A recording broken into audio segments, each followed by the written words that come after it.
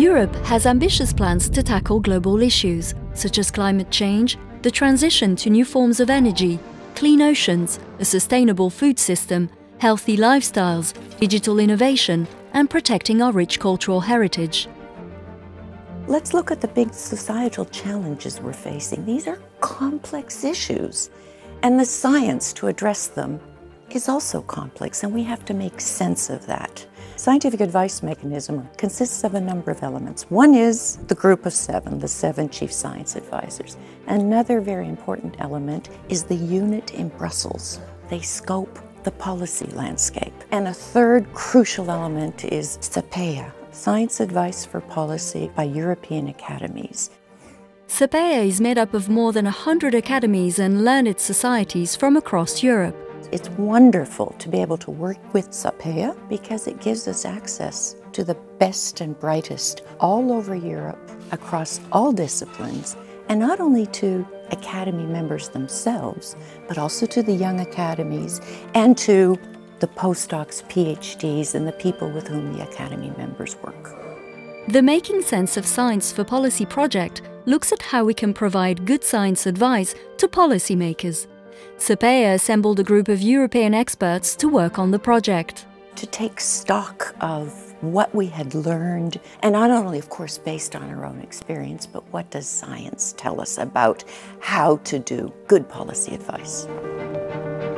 When the European Commission's chief scientific advisors decided to address this important topic, they asked SAPEA, the consortium of European academies, to review the evidence on the subject. The report is not a usual scientific question about facts or about impacts, but it's also about the general philosophy of how we go about making science more productive to policy making. The Making Sense of Science report covers three main aspects of the relationship between science and policy.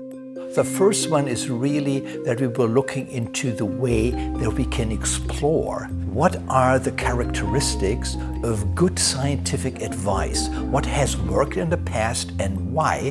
The second part of our report looks from the perspective of the policymakers. What kind of information do they need? What kind of judgment do they need? What are the functions of policy making? The third chapter is really how we can enhance the relationship between policymaking and the scientist. We also think about what kind of institutional setting is best, what kind of interaction works best, what kind of formats work for good scientific advice. The advisors have drawn on the SAPEA Evidence Review report to produce policy recommendations for the European Commission. Their scientific opinion, called Scientific Advice to European Policy in a Complex World, has three main recommendations.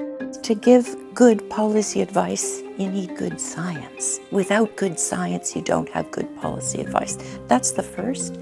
The second is about credibility and trustworthiness. As science advisors, one must demonstrate one's trustworthiness. The third main conclusion concerns impartiality. Science advice has to be about a topic that science can address. If you want to find out more, all our reports and supporting information are publicly available. Our work on making sense of science has been, in my eye, a very crucial step towards improving the relationship between the science and the policy side. Both sides really benefit from cooperation. I think the world has become so complex and the issues have become so sophisticated. It is even more fruitful and more advisable to have more and better arenas in which sciences can interact with policymakers.